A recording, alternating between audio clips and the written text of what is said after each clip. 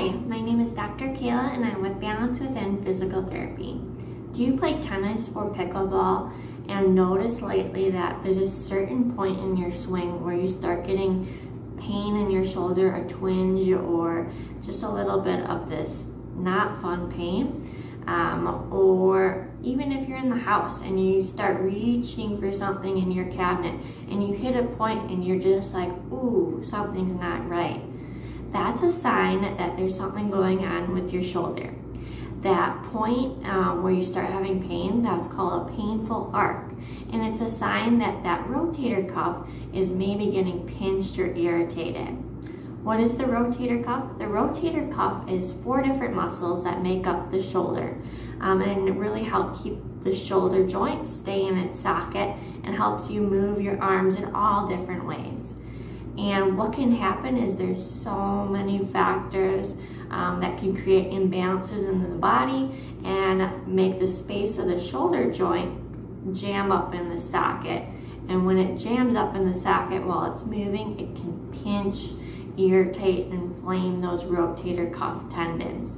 So say when you are moving, a good test is doing kind of a snow angel motion. And if you get to a certain point about, you know, maybe here you start feeling that, ooh, something's wrong in there. Um, this ball of the shoulder is rolling up and it jams against the socket. And that's where those little rotator cuff tendons are. And they get pinched and that's that sharp pain, that twingy pain that you're feeling. It's definitely a sign that that rotator cuff is not happy. Doesn't necessarily mean it's torn or it's massively torn yet, but it's definitely something you want to address.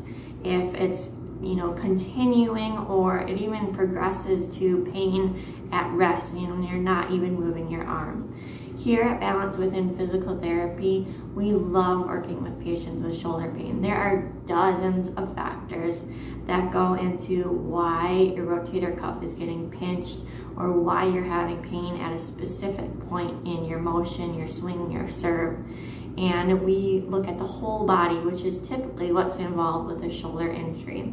And we use our knowledge in myofascial release, orthopedics, and different specialty trainings to really look at the whole picture, your individual muscle imbalances, and get at the root cause of why you're having pain at certain points in your range of motion and we would love to get you back to playing pickleball, playing tennis, golfing, um, just reaching for that water glass without pain. We do offer a few consultations every month. They go very fast, um, but these are shoulder specific and really see what's your specific story and are we a good fit in helping you get back to all the things you love to do.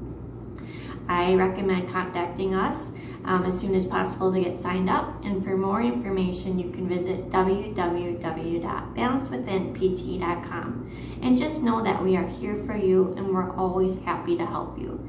Thank you so much.